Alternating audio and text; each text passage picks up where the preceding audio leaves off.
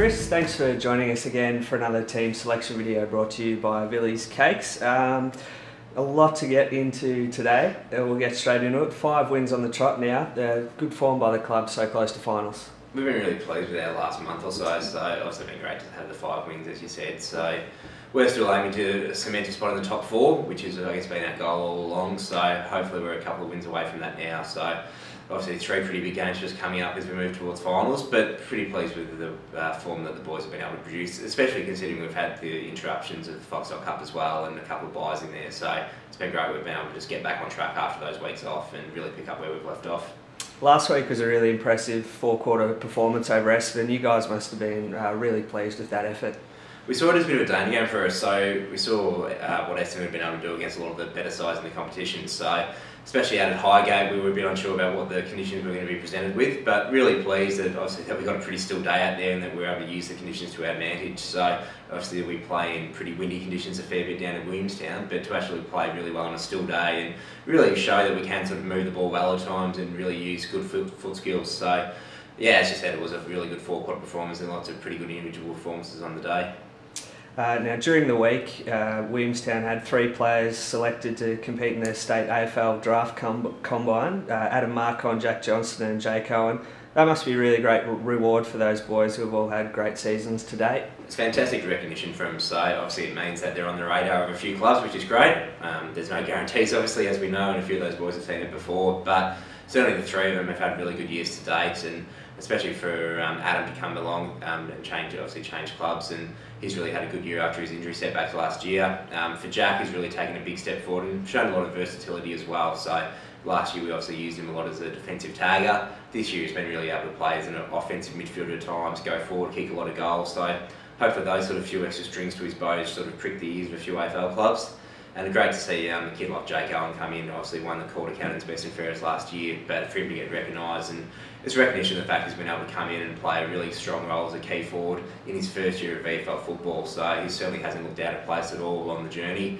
And hopefully, those three guys can get an opportunity at the end of the year.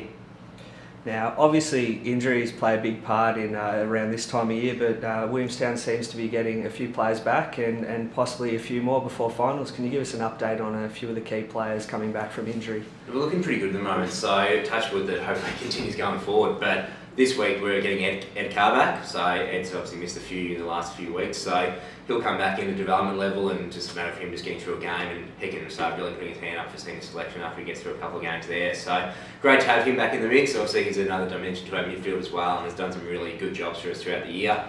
Another one who's on the comeback trail is Cam Lockwood, so Cam's just started running again coming off his foot injury, so hopefully we could, could even see Cam uh, in a couple of weeks' time before the uh, before the end of the home and away season. So he started running. His rehab's going really really well, um, and looking forward to seeing him back out there because once again he's such an important piece in our puzzle to get playing down back.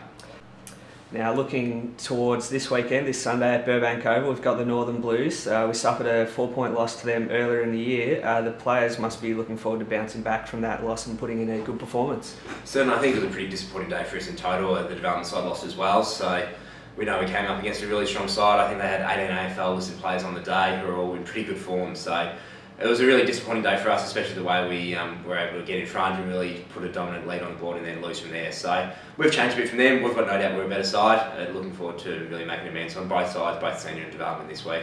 Now, a key inclusion playing this time that didn't play last time is uh, Kane Lambert, who's obviously came from the Northern Blues. Uh, big contest for him. Yeah, look, and they know they know Kane as well as what we do, so they know he's the ultimate professional. Um, it's not going to faze him too much. He could be coming up against an under nines team, and I think he still goes about it the same way. So he's a professional, and I'm sure he's looking forward to getting out there and just continuing his really good run on form because he's been probably one of our better players in the last month. Obviously, the two Foxtel Cup games that he's played, and last week against Essendon, kicking three goals and having 30 touches. So he'll be looking forward to getting out there, but it'll just be a normal game for him. Okay, well, let's look at the side to face the Northern Blues this Sunday at Burbank Oval. From the back line, David Fay, Peter Forbes, Ryan Ferguson. Half back, Nick Singh, Brad Mangan, Sean Hetherington. Through the middle, Lee Masters, Ben Jolly, Ben Davies. Half forward, Mitch Banner, Sean Ty, Jack Johnstone.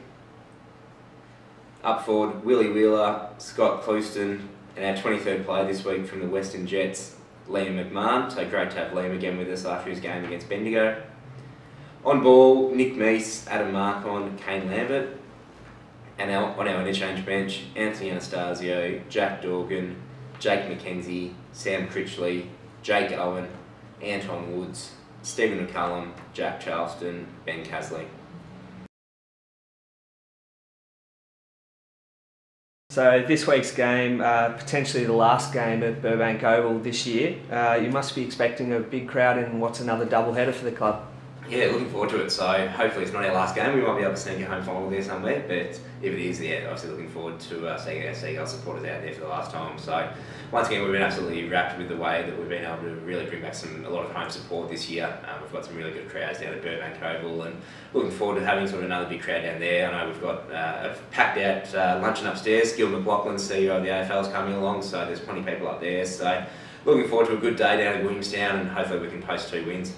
Absolutely. Thanks for joining us once again, Chris, and best of luck on the weekend. Cheers.